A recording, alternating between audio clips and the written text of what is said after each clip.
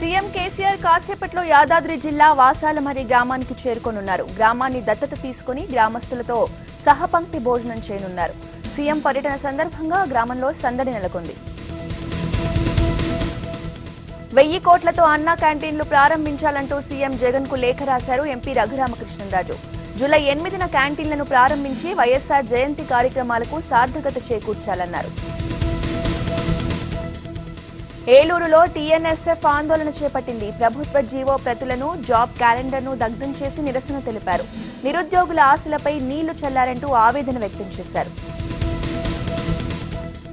ICMR team Nellore జిల్లా కృష్ణపట్నంలో పర్యటిస్తోంది. అక్కడి చిన్నారులపై corona ప్రభావాన్ని పరిశీలించేందుకు వైద్య పరీక్షలు చేస్తున్నారు.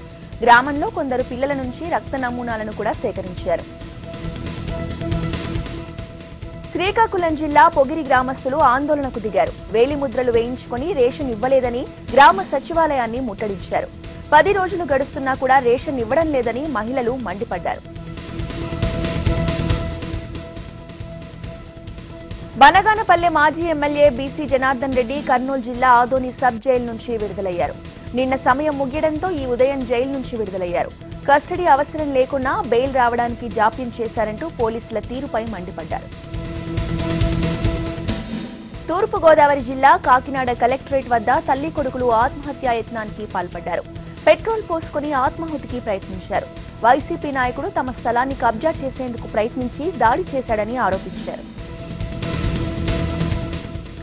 కొమరంభీం ఆసిఫాబాద్ జిల్లా మావోయిస్టు ప్రభావిత ప్రాంతం కొలాంగూడ గ్రామాన్ని సిఐ సుధాకర్ దత్తత తీసుకున్నారు.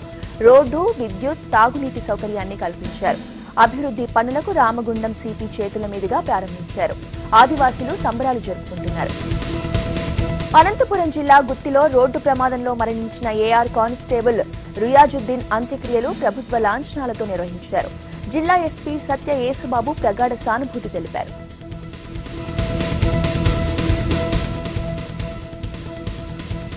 గుంటూరు జిల్లా నర్సరావుపేట శివారులో పోలీసులు వాహనాలు తనిఖీలు చేశారు. సిమెంట్ లారీలో తరలిస్తున్న అక్రమ మద్యాన్ని పోలీసులు సీజ్ చేశారు.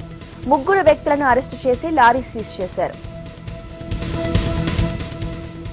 నెల్లూరు జిల్లా అనంతసాగరం మండలం గౌరవరంలో క్షుద్ర పూజలు కలకలం సృష్టించాయి. గ్రామంలో నిమ్మకాయలు కాలిన తాయెత్తులు బలిచ్చిన కోడి ఆనవాళ్ళు దర్శనమివ్వడంతో స్థానికులు భయాందోళనకు గురవుతున్నారు.